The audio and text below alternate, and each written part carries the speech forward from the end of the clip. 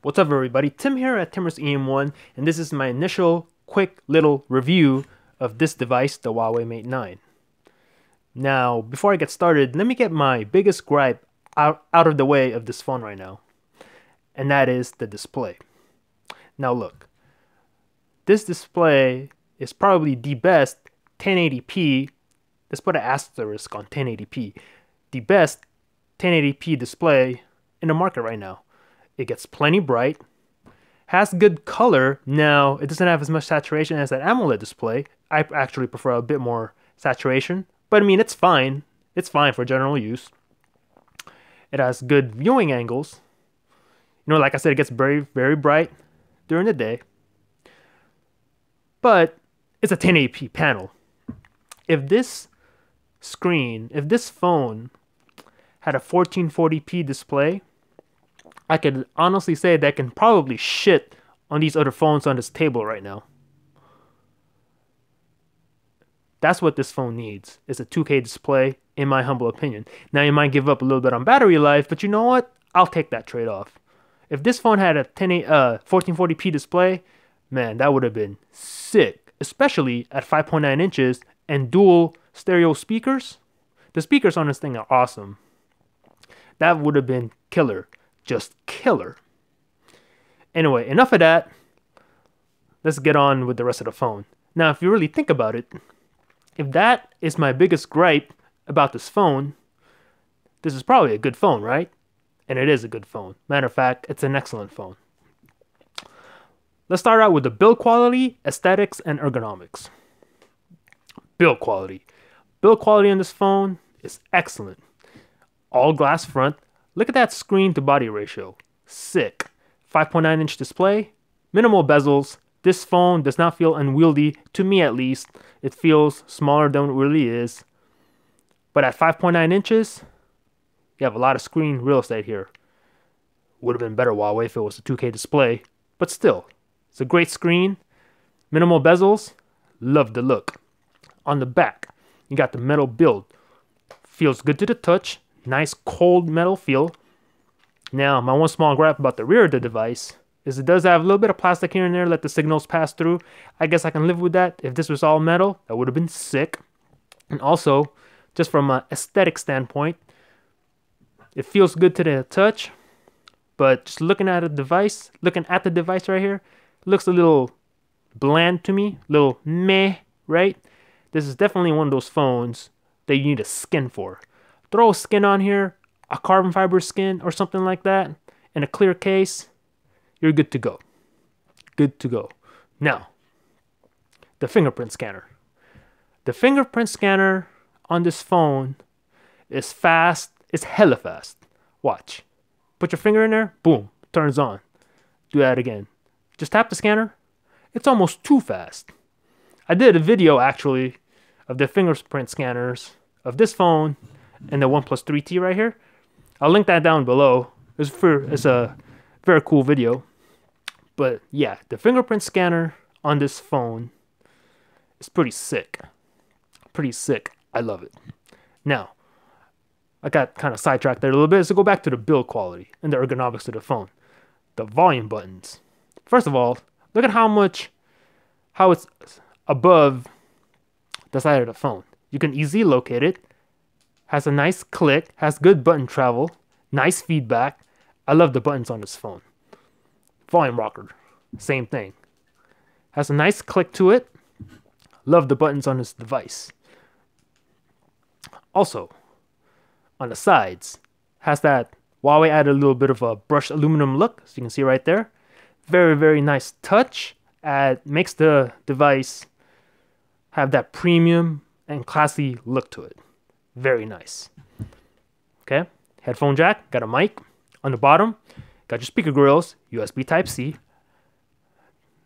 This side of the device, you have your SIM right there, your SIM tray, and then here volume buttons. We already talked about that. Very, very nice. Now, I kind of wish Huawei didn't put their logo right there. If this was just all blank and instead put a speaker there, that would have been sick. Maybe on the M10 or the Mate 10.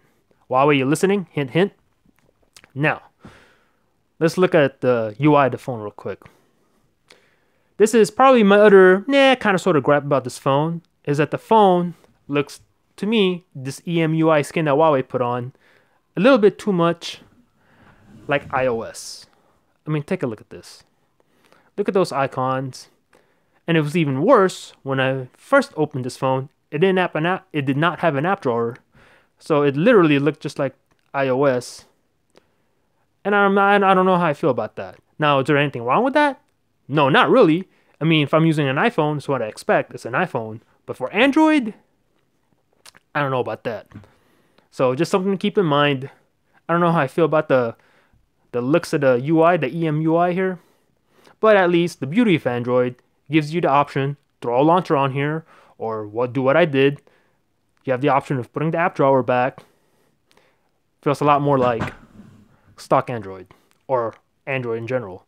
Now, in the app drawer, I do like what Huawei's done here to put the alphabet right here on the right. So if you have a thousand and one apps, you can easily find it right here. All right.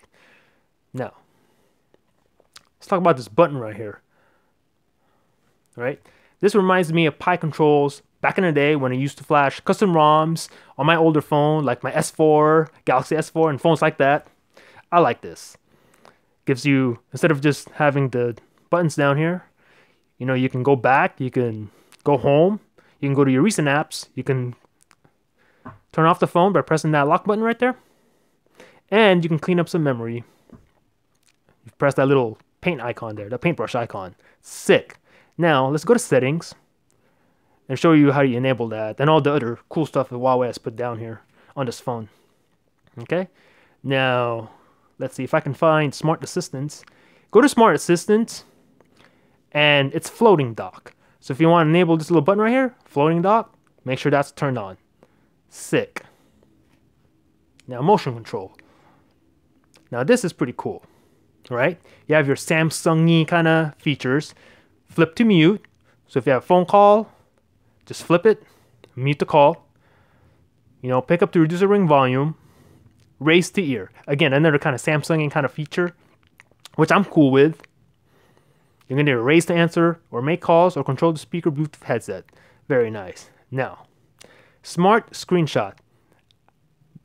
I love this feature. Basically, what this is, is they use your knuckles to take a screenshot, right? You knock on the screen, right there and just took a screenshot. So let's say you don't want to mess around with the buttons, right? You don't you don't want to do that. Just take your knuckle, knock on the screen, take the screenshot. Now be careful with that. Don't do it too hard. Don't be cracking your screen now. All right, all right. But I think that's I think that's pretty cool. That's pretty cool. I like that.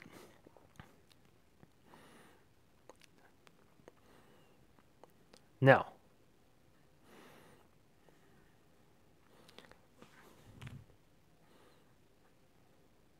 let's talk about the camera on this phone. Now, I do have to do a bit more testing on the camera on this phone, but so far, so good.